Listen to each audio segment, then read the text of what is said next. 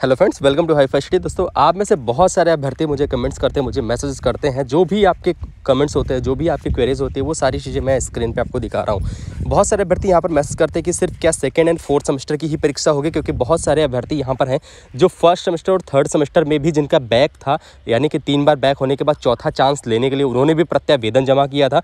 तो वो, उनका सेम सेम यही क्वेश्चन है कि, सर, मेरा भी एग्ज़ाम इधर दिसंबर में होगा या फिर नहीं होगा? क्योंकि इस बार एग्ज़ाम जो है वो सेकेंड एंड फोर्थ का होने वाला है। और रिसेंटली में भी आपको पता है कि जुलाई में फ़र्स्ट सेमेस्टर और थर्ड सेमेस्टर का एग्ज़ाम कराया जा चुका है। लेकिन प्रत्यावेदन वाले या फिर जो याची बने छात्र हैं, जो बैक वाले हैं, उनका एग्ज़ाम इधर होगा या नहीं होगा, इसके बारे में बात करेंगे। बाकी दिसंबर में किन किन सेमेस्टर की परीक्षाएँ होंगी उसके बारे में बात करेंगे। और बाकी यहाँ पे दोस्तों, आपको पता है कि पीएनपी से खबर निकल करके आई थी कि तीन दिसंबर से जो आपकी परीक्षाएँ हैं वो प्रस्तावित हैं और पंद्रह नवंबर के आसपास आपके जो परीक्षा के फॉर्म है वो भरे जाने हैं। तो यहाँ पे प्रस्तावित का मतलब ये होता है दोस्तों कि इसके आगे पीछे डेट थोड़ा घट भी घट भी सकती है डेट या थोड़ा बढ़ भी सकती है। अगर हम यहाँ पर बात करें तीन तारीख तो तीन तारीख को आपको पता है कि संडे है और संडे के बाद आता है मंडे। और मंडे से और सैटरडे मिला करके आपका छः दिन बनता है और आपको पता है कि पीएनपी जो है एग्ज़ाम कराने के लिए छः दिन ही उसके लिए मायने रखती है, क्योंकि तीन दिन सेकंड सेमेस्टर का परीक्षा कराएगी और तीन दिन आपका फोर्थ सेमेस्टर की परीक्षा कराएगी, ठीक है? ऐसे में ना तो संडे पड़ेगा, ना किसी प्रकार की कोई छुट्टी पड़ेगी।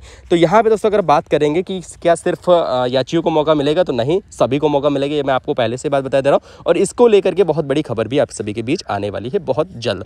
बाकी यहाँ पे दोस्तों फ़र्स्ट सेमेस्टर थर्ड सेमेस्टर की बैक वालों की परीक्षा इधर होगी या नहीं होगी, ये पूरा का पूरा डिपेंड करता है पीएनपी के ऊपर, क्योंकि पीएनपी में रिसेंटली में फ़र्स्ट सेमेस्टर थर्ड सेमेस्टर का एग्ज़ाम करवाया है जुलाई में तो अब उसके ऊपर ही निर्भर करती है कि वो सेकंड सेमेस्टर फोर्थ सेमेस्टर के साथ में फ़र्स्ट थर्ड का भी एग्ज़ाम करवाती है या फिर नहीं। बाकी यहाँ पे आपको पता है कि सेकंड सेमेस्टर और फोर्थ सेमेस्टर के एग्ज़ाम तय हैं, दिसंबर में हो रहे हैं।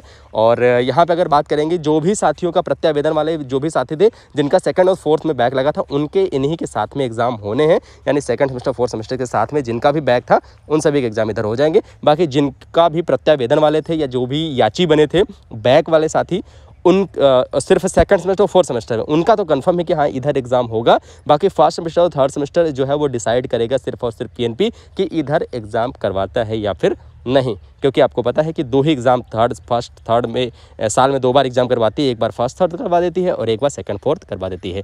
ठीक है? इस वीडियो को दोस्त मित्रों के साथ ज़्यादा से ज़्यादा शेयर करिएगा। अगर कोई भी क्वेश्चन है कोई भी क्वेरी है तो कॉमेंट सेक्शन में कॉमेंट कर दीजिएगा। पूरी की पूरी रिप्लाई करने की कोशिश करूँगा। जय हिंद वंदे मातरम।